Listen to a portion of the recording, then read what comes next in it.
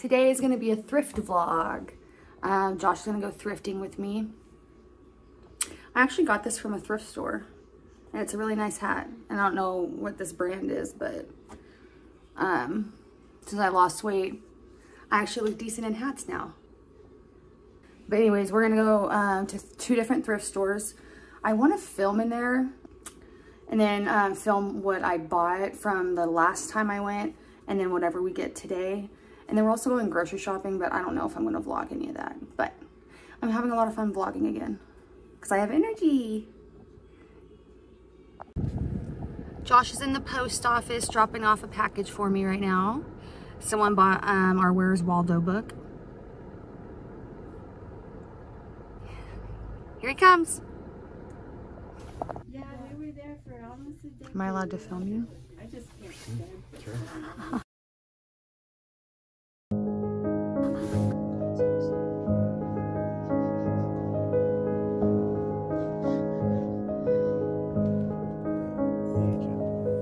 Look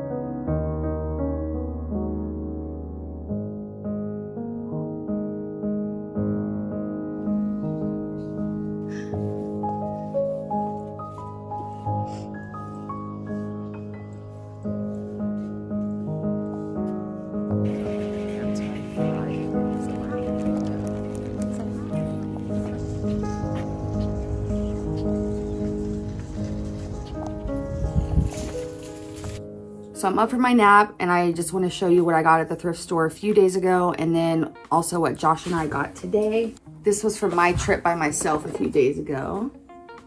Sharpshooters, the board game. And you can listen in, babe, because I never showed you what I got. Because there is something in here I think you're going to be like, whoa, it's cool. Cool. I sold a Bendy snowman, so I just grabbed this guy because I know it's vintage. I don't know who he is or where he's from, but we'll sell him. A vintage board game. I have to double check these board games to make sure all the stuff's in there, obviously. These are some wooden ornaments from Italy. Look at how cool. I mean, they're actually kind of scary looking. They're like little cherubs. Cherub. Cherub. Cherub. This I thought was so cool. Look at this old school. It's just a photo album. Look how pretty the front is. And it's got its original box. And it says Gottschalks on it, which... Wait, are those still in business? I'm thinking Mervyn's, huh? They're still in business? No. Oh, well, if they're not, then guess what? I have something from them. And it was probably a long time ago and it, the price back in the day was twenty two fifty. That's like a lot. For back in the day, you know what I mean? Travel board game, magnetic backgammon. I definitely got this for our tree. That's for our tree. oh, I found some vintage chalk and it's untouched and it's got assorted stuff in it. I think this stuff sells for like five to ten dollars and I paid 25 cents for it. But yeah, it's literally untouched. I hear a cat ripping something up in there. Vintage erasers. I learned about these in the thrift store the other day. Those were interesting. Oh, this is like a little travel compass thing. I just thought it was cool. And I saw something online and I kind of wanted to learn about it, so I just bought it so I could learn. That is so cool. no, it's a little compass. I think this is a brass planter. I'm gonna show you, I'm gonna pull out what I wanted to show you right now. This thing is ridiculous.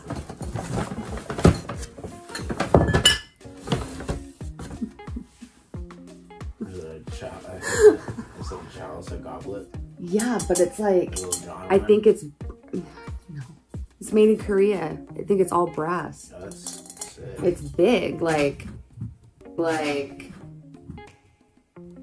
Maple. oh, hi Maple. But yeah, I thought this thing was really cool. Took a chance on it, 250. Take a chance on me. Do your very best. Now these guys I almost passed by, but I think they're actually worth something. These are my fishies I was talking about. Oh, okay. And they're in really good condition. So these just keep spinning. Vintage Seiko travel alarm clock. It is missing its little back thing, but if it works, that's pretty cool. That scared me. What? Your game, the talking in the game scared me. I was like, who is that? This um, I picked up and I was like, this is really heavy. And then I looked it up and I think this might be a nice brand. So again, just took a chance on it. I don't spend a million hours in each thrift store. If it's something like 50 cents, I'll just usually take a chance on it. Let me say it for the fifth time. Oh, I just thought this was cool and I have no idea. I think there's like a brand on it. So I wanted to clean it to see. It's a railroad nail. Look, A railroad spike? it's a railroad spike. Yeah, and it's got like a brand on it. And sometimes they're worth something. And I was like, whatever. I just want to check this thing out. Maple, you helping? Hammer. The hammer guy from 13 Ghosts. I was just gonna say 13 ghosts, right? And then these are silver, but one of these is a, oh wait, one's aluminum. I don't remember why I got these. Oh, I got this one because it's from Germany. Two more take a chance things.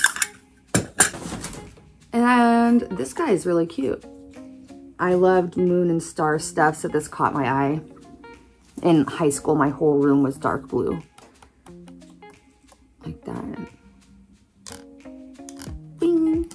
That was it for my solo trip the other day. Today, Josh pointed this out.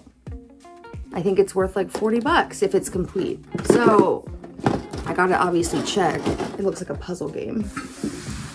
Ooh, let me grab my fish. I immediately picked this up because I just thought it was super cool. Who knows if it'll even sell for very much. Like, isn't this cute? I'm not a Tommy girl. I don't give a fuck. but I think this is cute. It's a little lunchbox. This I took a uh, chance on as well. Backjoy. Because I know um, these like little exercise things can be worth money sometimes and I've never seen this. Yarn so I can do garland for our Christmas tree. Josh saw these at the register at the very end. I had never noticed them. Or they have stuff up there. I don't ever look though. Because I don't like the cashier staring at me and being like, do you want to see something? I don't want to be perceived. But look, took a chance on these because they're all 50 cents or under, I believe. They're collector's spoons in different kinds. Thanks, bub. This, I have no idea. It's a nice Pyrex dish. And Pyrex can usually sell, but look at the top of this thing. I mean, it obviously needs to be polished, but I think it's silver. And it's just cute. If this doesn't sell, I would honestly keep it. I don't know what I would put in it. Green yarn for garland. I knew this brand, sorry, what? Garland Green. I almost said something like that, and I was like, that doesn't rhyme when I, That Garland Green is from uh, Con Air. Steve Buscemi's character.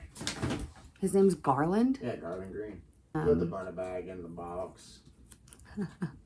Well, I always say- bunny in the box. Well, actually, I think you could be saying. Wait, say it one more time. Put the bunny back in the box. Is that where I get where I uh when I pet Cherry and I should say soft like bunny? Is that where I get my bunny? I don't know where. Soft like bunny. I got it from Con Air, I think. Anyways, Villeroy and Villeroy and Boch. and Boch. Joshua. Oh, sorry. well, the cat scared me. This is like some tile made in France. So real. This is an ab workout thing. You stand on it and you twist back and forth. Now look at these vintage Jim Henson. Look at the condition they're in. They're literally from 93. Perfect condition. Took a chance on these. Josh brought them to my attention. I haven't really been looking at the ornaments because I have a bunch of stuff that hasn't sold, but I figured why not add three more to the rotation. I was gonna check them, but then uh, they were at the bottom of the little basket and I was like, whatever. This one's a bell. Girls are playing hard. And Josh also found this, and I can't tell if it's a Christmas decoration, if someone did it and then marked it, but it has a, is it a copyright C? Is that what that means? Yeah. Yeah. Yeah, but it also has Railroad Depot, and it's like a stamped thing on it too, so it makes me think, hi girls, it makes me think it was part of something. And it might be messed up. Josh pointed this out and stuff. But we'll do some research on this because I don't know. It's got a little railroad part right there. Oh, I was doing Lisa's duck face, I just realized. Okay, I think that's it. Bye.